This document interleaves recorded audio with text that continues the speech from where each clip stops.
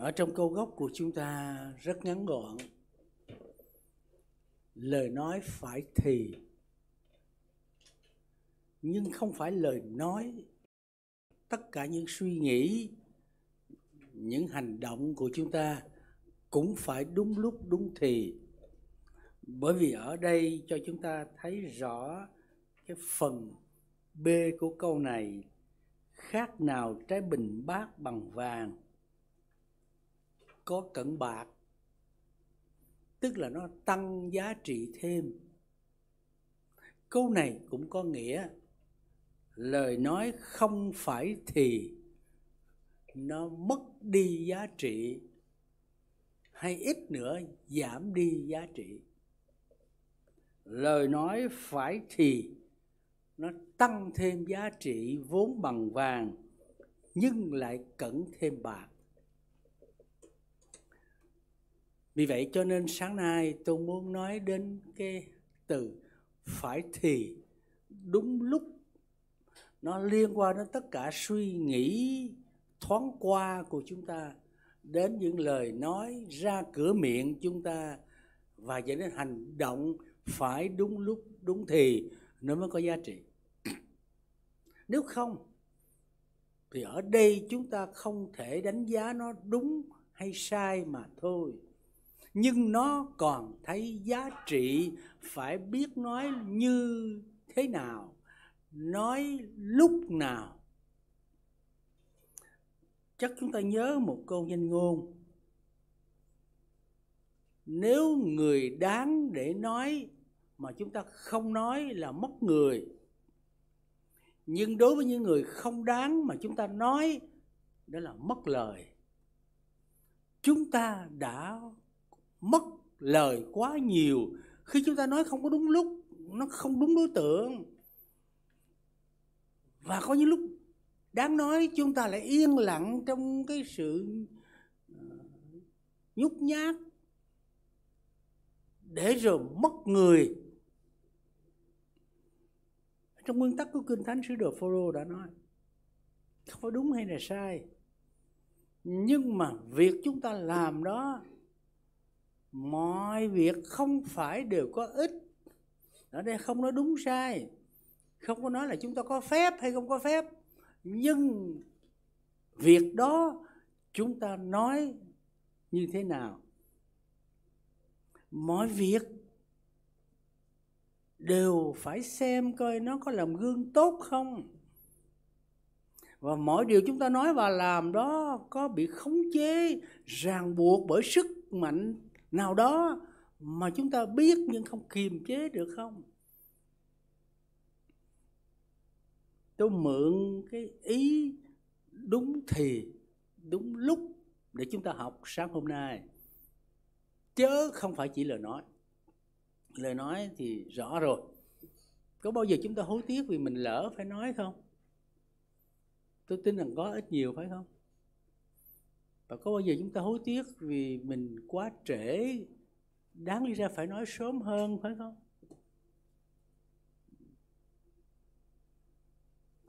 Hãy xem cái giá trị của lời nói của việc làm phải thì của chúng ta.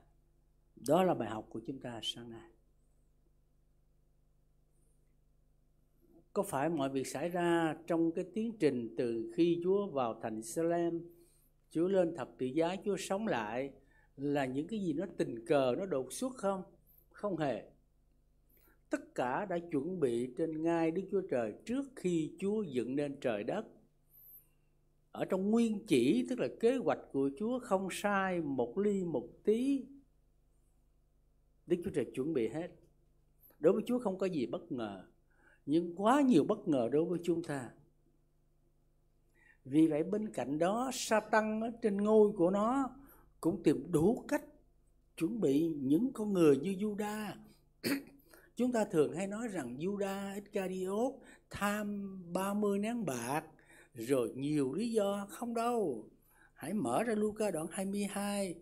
Nguyên nhân chính là từ khi Juda để cho Satan ám vào và khi Satan đã ám vào, nguyên nghĩa là có cái chỗ trong lòng của Juda cho Satan điều khiển và Satan có kế hoạch của nó và công cụ là Juda và từ đó Juda bắt đầu tìm để bắt và Chúa bị giết.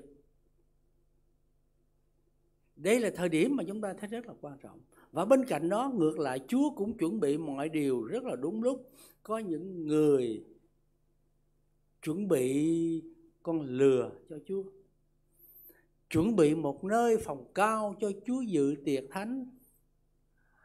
Nhưng mà tất cả những hình ảnh này chúng ta ôn lại để thấy và trong thời điểm mà chúng ta bước vào mùa thương khó phục sinh, tất cả những điều đó đã chuẩn bị từ lâu ở trong chương trình của Đức Chúa Trời. Khi có người phạm tội, tưởng rằng phá hỏng được kế hoạch đời đời tốt lành của Chúa khi sáng tạo nên muôn loài, nhưng không. Chúa dự bị chiên con đã bị giết từ buổi sáng thế.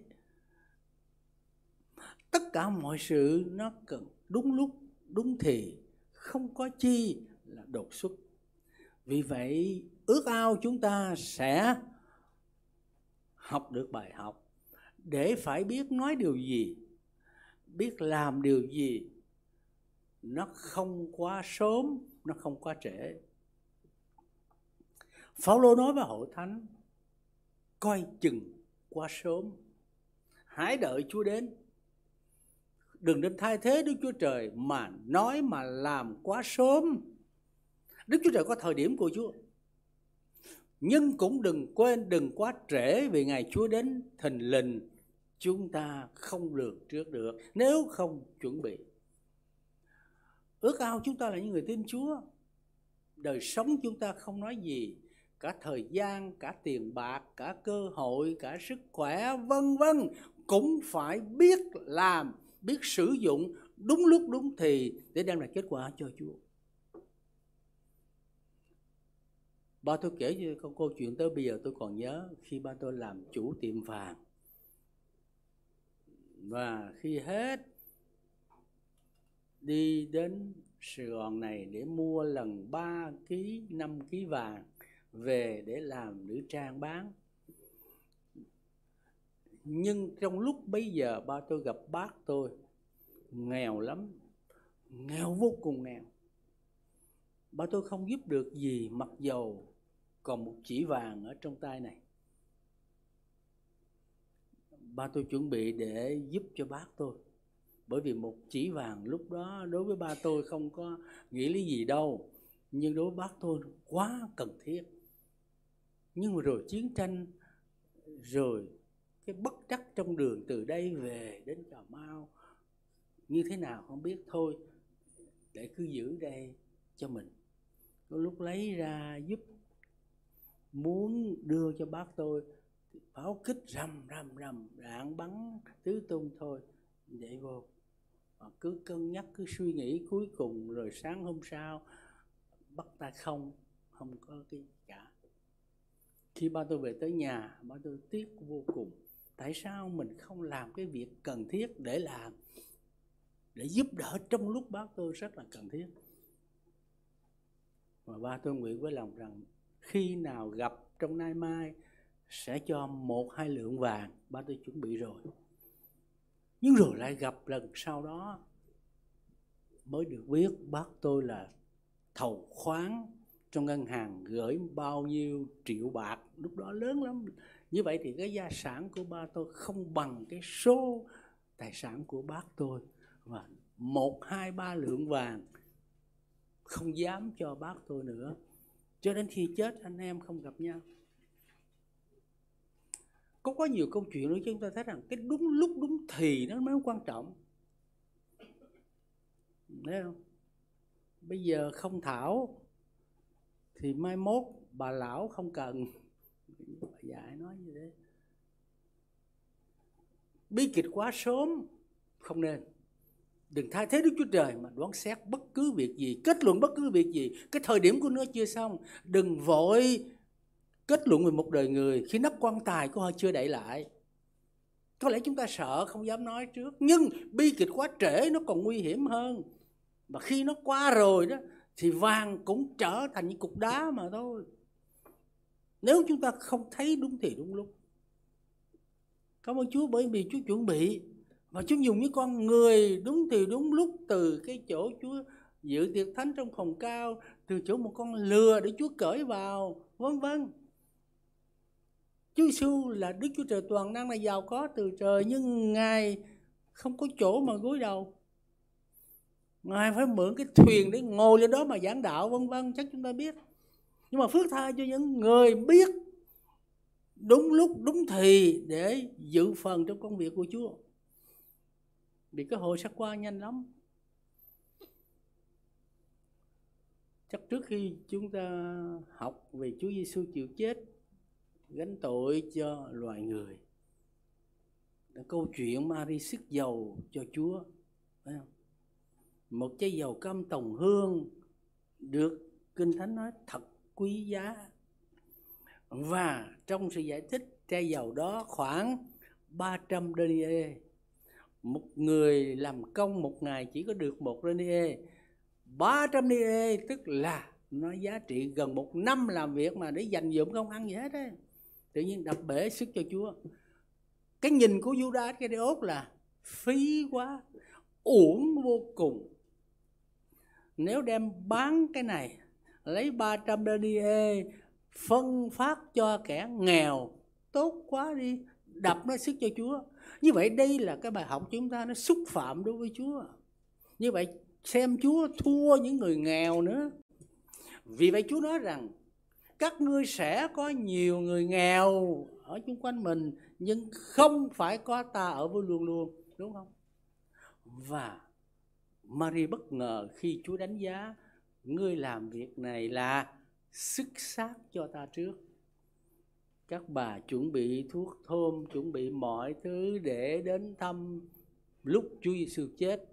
Nhưng không có được, không còn cơ hội rồi. Và đây là việc xích xác cho ta trước. Giá trị ghê gớm không? Phải không?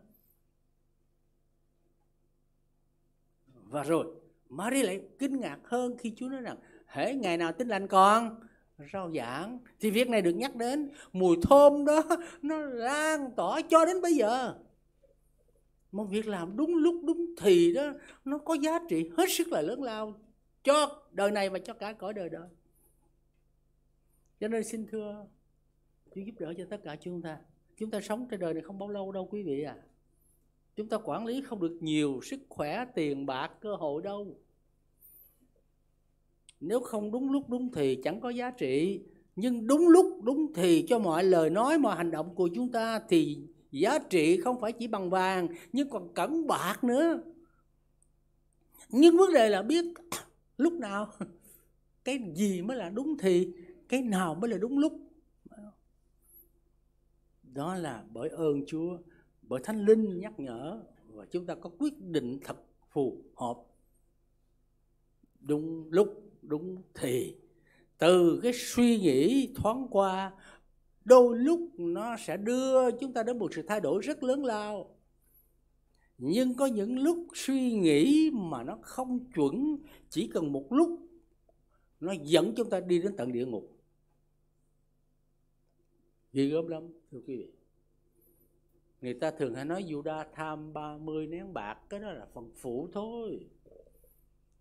Và người ta nói rằng, ông Juda đánh giá sai về Chúa Giêsu cũng không đến đổi nhưng tôi nhắc lại, Luca đoạn 22 có nói là sa tăng ám vào. Từ trong cái giờ phút sa tăng ám vào trên Juda thì Juda trở thành công cụ. Trở thành công cụ. Ngay cả trong giờ dự tiệc thánh, trong đêm Chúa Giêsu bị bắt, mọi môn đồ hỏi Chúa Giêsu trả lời, người nào để tay vào mâm với ta là cả phản ta, xong khốn nạn thay cho con người, vân vân. Juda biết chứ nhưng mà Satan đang ám vào, nó làm chủ, và trong thời điểm đó, ông Judas không quyết được. Và rồi dẫn đến việc hôn Chúa trong hôn phản bội, rồi vân vân vân vân Chúa đã cứu chúng ta, đem chúng ta ra khỏi quyền lực của sự tối tăm, đem chúng ta khỏi cái sự trói buộc nô lệ của tội lỗi. Mà chúng ta được tự do trong đấng Christ để biết phải làm gì, nhất là làm đúng lúc, đúng thì nữa. Ở đây, câu chuyện tôi muốn nhắc đó là câu chuyện của ECT ECT ở trong cung điện hoàng hậu, chúng ta khỏi phải nói, nó sung sướng như thế nào rồi, nó an toàn như thế nào rồi. Và một nguy cơ vô cùng lớn đó là dân sự của Chúa đứng trước cái sự diệt vong. Nhưng ECT cũng chẳng biết đến nỗi bà nói hãy đi ra xem coi tình trạng, tình hình như thế nào mà mặc đôi chê, phải buồn rầu rồi phải mặc áo bao gai đội cho lên đầu như thế. ECT không hề biết? Cái lúc sinh tử mà bà vẫn không hề hay. Chỉ nhờ ơn Chúa cho Mạc Đô Chê nói với ECT rằng không phải tự nhiên bà được ở trong cung điện được làm hoàng hậu đâu. Nhưng tất cả mọi sự Chúa đã chuẩn bị rồi cho thời điểm này. Và bà cũng biết rằng nếu ngay trong thời điểm này bà không lên tiếng, bà không nói, thì không phải Đức Chúa Trời không có cách đâu. Nhưng mà bà và gia đình bà bị hư mất. Chúng ta đọc kỹ những lời cảnh cáo của Chúa qua mặt đôi chê. Đến độ thay đổi hoàn toàn cái suy nghĩ, cái sợ hãi của ECT hoàng hậu và bà lên tiếng đúng lúc, đúng thì. Bà biết rằng khi vào mà được chưa có lệnh của vua vời vào đó thì chết. Vì vậy bà sẵn sàng chết vì dân sự của bà sắp chết. Một cái sự chết của bà nó nhỏ mà cả dân sự Chúa bị tiêu diệt mới là lớn trễ một chút thôi là nguy hiểm.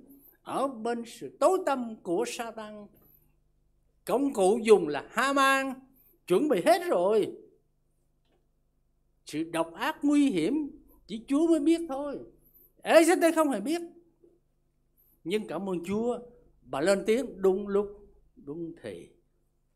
Và dân sự Chúa được sự giải cứu không phải tự nhiên ECT được ngồi trong cái chỗ đó đâu, mà tất cả Chúa chuẩn bị cho thời điểm. Thời điểm của chúng ta là bây giờ. Tôi nói lại, sức khỏe không thuộc về chúng ta mãi mãi. Có những lúc mà lực bất tùng tâm phải chi lúc đó tôi nói, tôi làm, tôi dân hiến, vân vân. Bây giờ, qua rồi. Có một con cây chúa giàu lắm. Trước 75 ông nói rằng hồi đó đó, tiền tôi hốt vô, đếm không hết. Bây giờ tôi lượm từ đồng bạc cắt, tiền lẻ, nó thay đổi hoàn toàn. Phải chi lúc đó tôi biết yêu bên Chúa dân hiến. Bây giờ hết rồi, muốn dân hiến phải đi vay tiền để dân, rồi nhờ Chúa trả lại biết quá trễ. Cho nên tôi nói bi kịch quá sớm cũng là vấn đề. Bi kịch quá trễ cho chúng ta cũng là một vấn đề. Cái gì mà nó phải thì cái gì nó đúng lúc thì có giá trị. Nếu chúng ta làm thinh trong lúc này thì cũng y như ECT làm thinh ở trong cung điện của vua vậy mà nguy cơ không phải chỉ bà ECT bởi vì khi biết ECT cũng là dân của Đức Chúa Trời, liệu bà có ngồi yên ở trong cung điện hay không? Cho nên tất cả những lời chúng ta nói, những sự suy nghĩ của chúng ta nữa và việc chúng ta làm, nó không phải chỉ là việc nhỏ đâu, nó liên quan trong quá khứ. Chúa chuẩn bị cho chúng ta để phải nói, để phải làm và điều đó nó không phải chỉ trong hiện tại mà cả trong tương lai nữa. Nó phải liên quan đến chúng ta mà thôi, mà liên quan đến nhiều điều, nhiều người liên quan đến cả công việc của đức chúa trời. Như vậy ước ao chúng ta không phải muốn tốt mà thôi, mà muốn nó tốt hơn. Và nó tốt nhất ấy là khi đúng thì.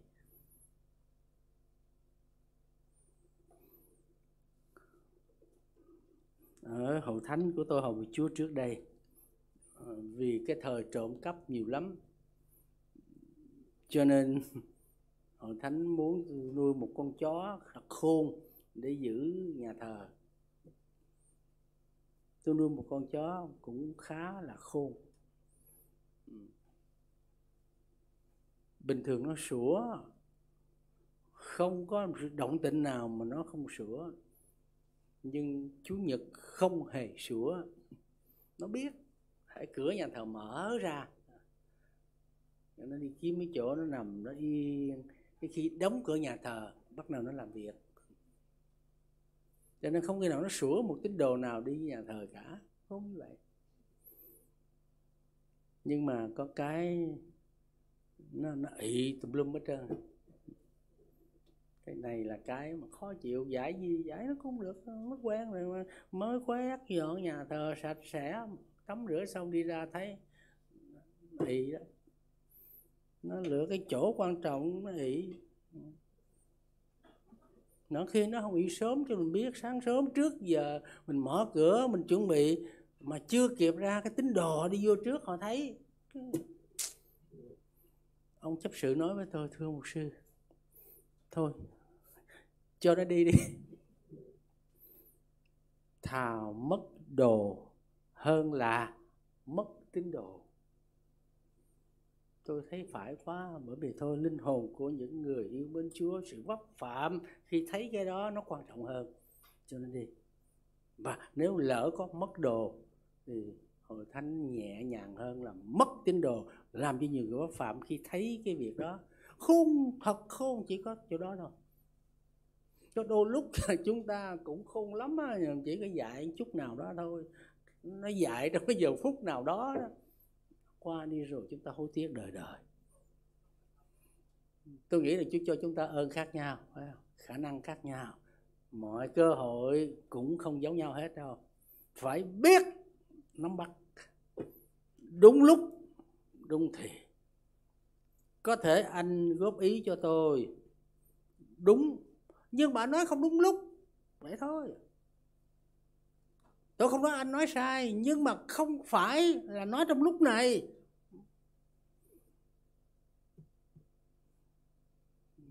Trong cái ngày tân gia của người ta người ta chúc người này, chúc người kia ờ, rồi gia chủ thế này thế nọ.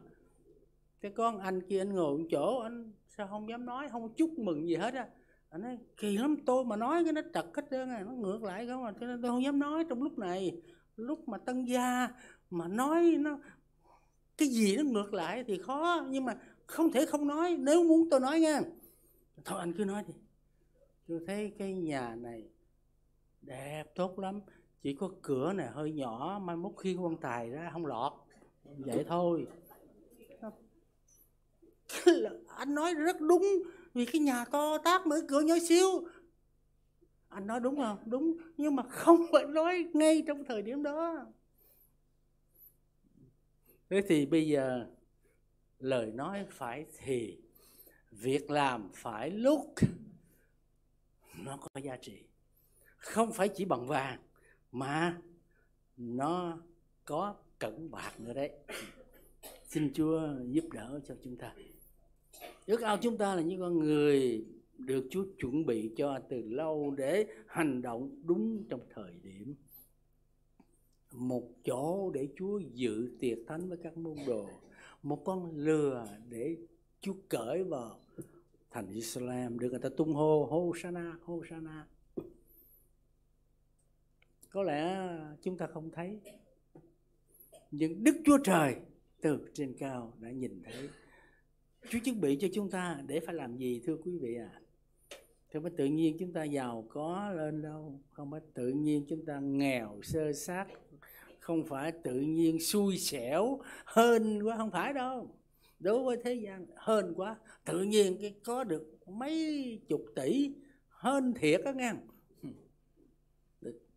Ngủ giấc thức dậy mất hết, xui tận mạng như vậy thì chúng ta dường như đi vào cái định mệnh thuyết á, cái sự tình cờ đó điều đó có đối với nhiều người nhưng mà chúng ta biết rằng một sự tóc trên đầu chúng ta chúa cũng đếm Chúa chuẩn bị tất cả cho chúng ta để chúng ta biết làm gì lúc nào.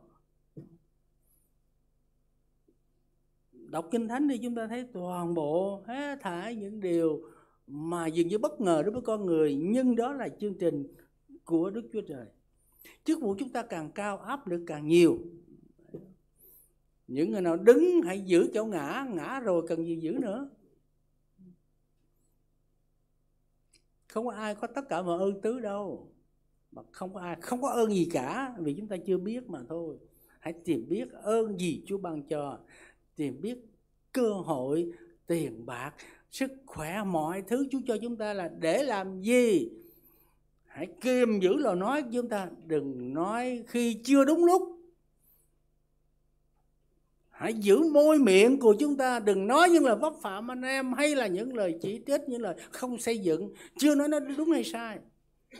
Nhưng hãy xin Chúa dục giả và cho chúng ta phải nói đúng lúc cần phải nói. Vì ECT không lên tiếng thì không quả như thế nào. Và ECT là một người bình thường. Nói có ai nghe đâu nhưng bà đang cần phải nói vì bà có cơ hội và ngay trong thời điểm cần thiết. Cho nên có lúc tôi dè dặt. Chưa kịp nói. Sự việc nó xảy ra rồi, tôi hối tiếc quá đi. Nói sao mình nói trễ quá vậy? Bây giờ tôi không nói ai nói đây. Sợ mít lòng, sợ sợ đủ thứ nó đem đến sự bất khiết trong hội thánh. Nó đem đến tất cả cái hậu quả không lường được không mít lòng, không nói. Ai là người sẽ nói? Chúa đặt chúng ta để phải nói kia. Tiên tri Jeremy ông nói ở trong Jeremy đoạn thứ nhất, khi ông biết Chúa kêu gọi ông, và ông nói Chúa kêu gọi ông để làm gì? Để dựng, để xây nhưng cũng để phá, để đạp đổ nữa. Phải biết cái gì cần phải đạp đổ để giữ dân sự của Chúa. Cần biết xây dựng những điều gì cần thiết cho dân sự của Chúa và danh vinh hiển của Chúa. Lúc cần đạp đổ nó, đầy sự can đảm, không nhát tài những lúc cần xây dựng, phải nỗ lực mà làm tất cả những điều đó. Tôi muốn nói, lời nói là trước nhất. Nhưng lời nói nó phát xuất từ trong cái suy nghĩ ở trong chúng ta nữa kìa rồi, cụ thể nó dẫn ra hành động hết sức là nguy hiểm. Hãy kiểm soát. Ông gia cơ nói, kiểm soát cái gì? Cái lưỡi của chúng ta. Đây là cái nơi đô hộ của tội lỗi.